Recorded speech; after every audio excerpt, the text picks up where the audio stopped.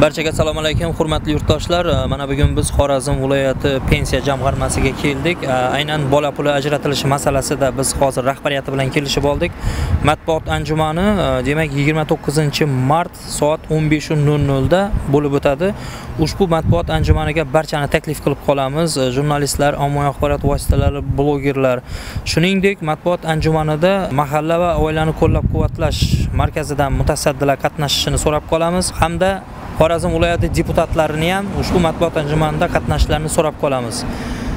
Chunki bu yerda masalalarimiz dolzarb, barchasi xalqning muammolari, xalqni qiynayotgan savollarga biz ushbu anjumanda javob topamiz deb umid qilamiz. Hurmatli yurtdoshlar, ushbu videomizni kuzatib turuvchi aziz insonlar, mana shu videomiz ostiga kommentariyada e, kimniki bola puli masalasi bo'yicha qiynayotgan e, savollaringiz bo'lsa, kommentariyada qoldirib e, bizga yo'llasangiz, biz kerakli davlat tashkilot xodimlariga ushbu anjumanda yetkazamiz.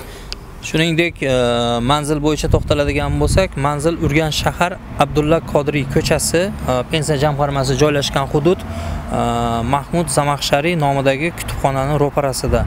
Barcha xohlovchilar kelib e, o'sha matbuot anjumanida qatnashishi va o'zlarini savollarini berishi mumkin. Rahmat, salomat bo'ling, bizni kuzatishda davom qiling. Sizlar bilan qonun doirasida Nuqta.uz kanali jamoasi bo'ldi. Kanalimizni kuzatishda davom eting.